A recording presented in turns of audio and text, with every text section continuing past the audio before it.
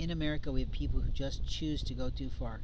They're always pushing the envelope. They're always trying to get more. They're always trying to do things. But what they end up usually doing is having the whole thing blow up in their face.